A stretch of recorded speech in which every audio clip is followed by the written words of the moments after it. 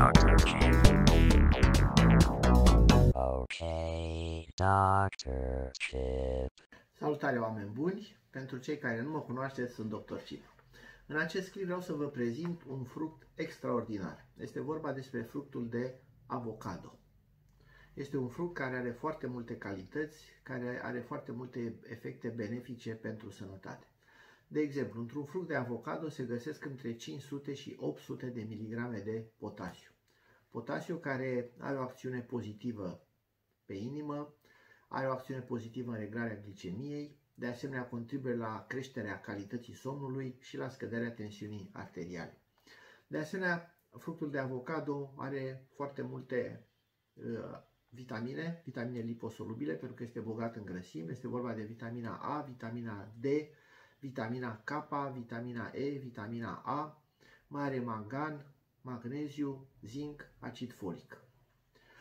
Într-un fruct de avocado se găsesc doar 2 grame de glucide, deci indicele glicemic este mic, nu crește secreția de insulină, astfel încât consumul de fruct de avocado poate să ducă la scăderea insulinorezistenței, deoarece are și 10 grame de fibre alimentare. Fibrele alimentare sunt foarte sănătoase, ele reprezintă hrana microbilor, florei microbiene din colon, iar uh, flora microbiană din colon are un rol esențial în menținerea sănătății. De exemplu, sub acțiunea florei microbiene se produce acid butiric, acesta este o substanță care reprezintă hrana celulelor din mucoasa intestinală, deci contribuie la sănătatea mucoasei intestinale, foarte important, și de asemenea în organism acidul butiric contribuie la scăderea insulinorezistenței, care insulinorezistență duce la obezitate, ficat gras, diabet zaharat de tip 2. Iată deci ce efecte pozitive are, uh, au fibrele și deci fibrele din uh, avocado. De asemenea, sub acțiunea uh, florii microbiene din colon se produc 90% din substanțele GABA, serotonină și dopamină, substanțe care acționează la nivel cerebral pentru stabilirea stării de spirit. Persoanele care au deficit au un dezechilibru la nivelul florei microbiene, pot să, pro, să prezinte anxietate, atacuri de panică, depresie. Iată deci că uite, o legătură pe care mulți oameni nu o fac, se simt rău la stomac, cum se zice, și în același timp uh, prezintă astfel de simptome uh, psihice și nu se face această legătură.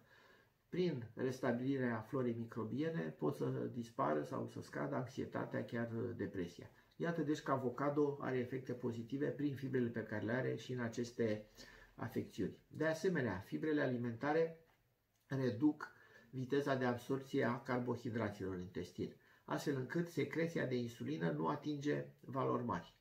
Contribuie prin aceasta, în plus, la diminuarea insulinorezistenței, cum am spus, efecte în obezitate, ficat gras, diabet de tip 2. Foarte important, Avocado conține foarte multe grăsimi sănătoase, grăsimi mononesaturate majoritatea. Reprezintă grăsimile 77% din greutatea fructului. Ce fac grăsimile sănătoase? Scad colesterolul rău, adică LDL-ul, și cresc colesterolul bun, adică HDL-ul. În plus, avocado mai are și uh, al, alți fitonutrienți cu acțiune antiinflamatorie, chiar anticancerigenă și de reducerea glicemiei. Iată deci ce efecte pozitive are.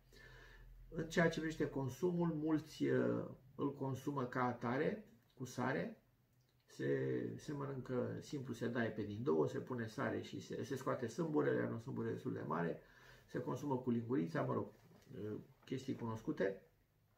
Sau mie nu-mi place, mi se pare cam grețos așa ca atare și de aceea prefer o, uh, să-l prepar sub formă de guacamole. În clipul următor vă voi arăta cum preparăm noi acasă guacamole. Soția mea este maestră la asta. Este simplu de făcut, dar este excelent la gust și, după cum am spus, foarte bun la sănătate. În plus, guacamole mai are și alte ingrediente care și ele sunt sănătoase. Vi-l prezint în clipul uh, următor. Închei aici. Sper că vi s-a părut interesant, util. Dacă faceți rețeta, lăsați-mi în comentarii sau dacă o faceți după ce vă prezint eu sau deja o știți, dacă mâncați avocado, spuneți-mi ce păreri, ce impresii aveți. Până data viitoare, vă mulțumesc, la revedere!